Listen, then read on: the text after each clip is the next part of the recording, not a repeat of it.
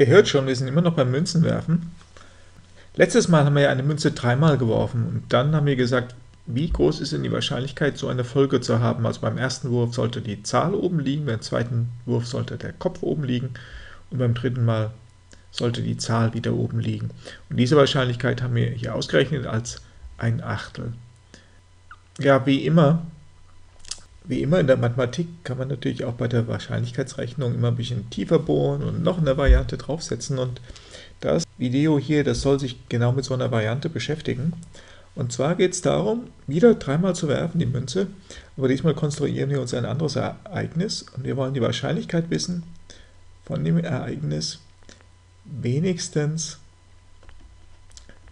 wenigstens einmal Kopf zu haben in drei Würfen.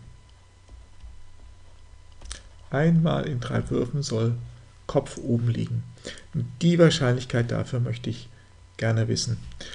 Praktischerweise haben wir hier links ja noch die Liste mit den, den ganzen möglichen Ergebnissen von drei Würfen. Ja, und jetzt brauchen wir eigentlich bloß abzählen, bei wie vielen von diesen Ergebnissen ist denn da wenigstens einmal Kopf dabei. Nun, überall, wo ein K drin steht, also hier, hier, hier, hier steht auch ein K, hier haben wir auch K, hier, hier. Siebenmal, wir haben siebenmal ein Ergebnis, wo Kopf drin steht und nur einmal hier das letzte. Das ist das einzige Ergebnis, wo eben kein Kopf dabei steht, wo nur Zahl, Zahl, Zahl kommt. Also die Wahrscheinlichkeit von wenigstens einmal Kopf in drei Würfen zu haben, das sind eben sieben, weil es sieben solche Ergebnisse gibt, sieben von insgesamt acht möglichen Ergebnissen. Jetzt könnte natürlich jemand daherkommen und sagen, ja, das habt ihr jetzt hier abgezählt. Was ist denn, wenn ich 10 Würfe mache? Dann versagt eure Methode, denn alle Kombinationen für 10 Würfe aufzuschreiben, das, das braucht schon eine Weile. Könnt ihr das nicht direkt ausrechnen, diese 7 Achtel? Ja gut, dann nehmen wir die Herausforderung doch an, oder? Versuchen wir das mal direkt zu machen. Ja, wir können das ja mal umdrehen. Wir können mal sagen, ähm, wenigstens einmal Kopf in drei Würfen, sagen wir eben keinmal kein Kopf, kein Kopf in drei Würfen. Schauen uns dann die Wahrscheinlichkeit von diesem Ereignis mal an.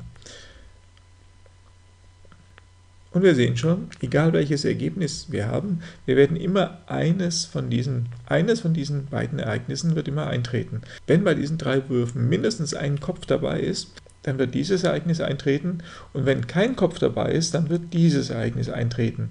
Also eins von beiden wird immer eintreten. Das heißt, ich kann eigentlich diese beiden Wahrscheinlichkeiten miteinander addieren und erhalte 1, denn es ist sicher, dass eins von den beiden hier eintritt und es ist aber auch durch die Formulierung sichergestellt, dass es kein Ergebnis gibt, wo beide Ereignisse hier eintreten. Also es ist wirklich ein Entweder-Oder und zusammen Zusammen ergibt das die Wahrscheinlichkeit 1. Ja, und das kann ich ja wie eine Gleichung umformen. Also die Wahrscheinlichkeit wenigstens Punkt, Punkt, Punkt, das ist gleich 1 minus der Wahrscheinlichkeit kein k in 3 Würfen. Einfach die Gleichung hier umgestellt.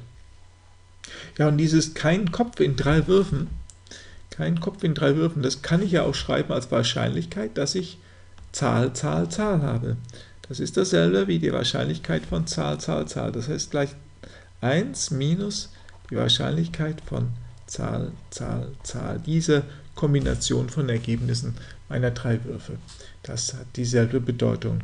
Und das kenne ich aber, das kann ich ausrechnen. Das ist nämlich 1 minus die Wahrscheinlichkeit im ersten Wurf Zahl zu haben, mal die Wahrscheinlichkeit im zweiten Wurf Zahl zu haben, mal die Wahrscheinlichkeit im dritten Wurf Zahl zu haben. Und jede dieser Wahrscheinlichkeiten beträgt der gerade ein halb.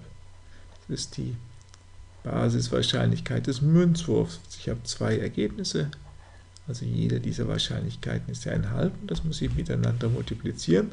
Also, also bleibt mir hier doch, bleibt mir hier doch stehen, dass das gleich 1 minus 1 halb mal 1 halb mal 1 halb, das ist ein Achtel, also 1 minus 1 Achtel, das sind gerade 7 Achtel. Das kriege ich als Ergebnis und das hatte ich auch nicht anders erwartet, denn genau das habe ich mir vorher auch als Ergebnis durch simples Abzählen der Ergebnisse schon ausgerechnet. Aber ich kann es eben auch hier bei dieser, in dieser anderen Variante der Rechnung bestätigen. Und jetzt fällt es mir natürlich auch leicht zu sagen, wie groß ist die Wahrscheinlichkeit, wenigstens, wenigstens einmal Kopf in, sagen wir mal, 10 Würfen zu haben. Also in 10 Würfen.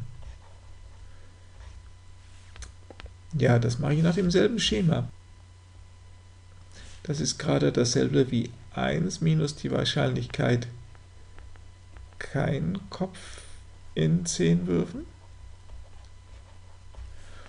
Und das ist gerade dasselbe wie 1 minus der Wahrscheinlichkeit, eben ja, in 10 Würfen auch 10 mal Zahl zu haben. Also hier das Ganze 10 mal. Und das ist dasselbe wie 1 minus ja, der Wahrscheinlichkeit, der Wahrscheinlichkeit im ersten Wurf Zahl zu haben, der Wahrscheinlich mal der Wahrscheinlichkeit im zweiten Wurf Zahl zu haben, mal der Wahrscheinlichkeit im dritten Wurf Zahl zu haben. Und jede dieser Wahrscheinlichkeiten betrug ja auch wieder ein halb, genau wie da oben. Und das heißt, wir haben da stehen ein halb mal ein halb mal ein halb und so weiter. Das ist also ein halb mal ein halb und ja, das Ganze eben zehnmal. Und das kann ich auch natürlich zusammenfassen als 1 minus 1 halb hoch 10. Und das wiederum wäre 1 minus 1 halb hoch 10. 2 hoch 10, das sind 1024, also 1 durch 1024. Und das wären dann 1023 1024. Also eine Zahl, die ist schon ziemlich nah bei der 1. Es ist fast sicher, dass ich in 10 Versuchen wenigstens einmal Kopf werfen werde. In Prozent ausgedrückt wäre das, das können wir uns ja mal zum Spaß ausrechnen, da brauchen wir also die 1023 geteilt durch 1024 geteilt durch ja, 0,999. Das heißt, es sind 99 99,9 Prozent. Also im Schnitt muss ich die Münze schon 1000 Mal werfen. Nee, ich muss die Münze 10.000 Mal werfen, weil ein Versuch hier heißt ja 10 Würfe. Also ich müsste die Münze 10.000 Mal werfen, um eine gute Chance zu haben, wirklich 10 Mal hintereinander Zahl zu bekommen. Und ich hoffe, das Beispiel hat auch ein bisschen gezeigt, wie man vielleicht manchmal etwas kompliziertere Aufgabenstellungen durch Ändern der Ereignisbedingungen dann in eigentlich eine sehr einfache Rechnung umwandeln kann.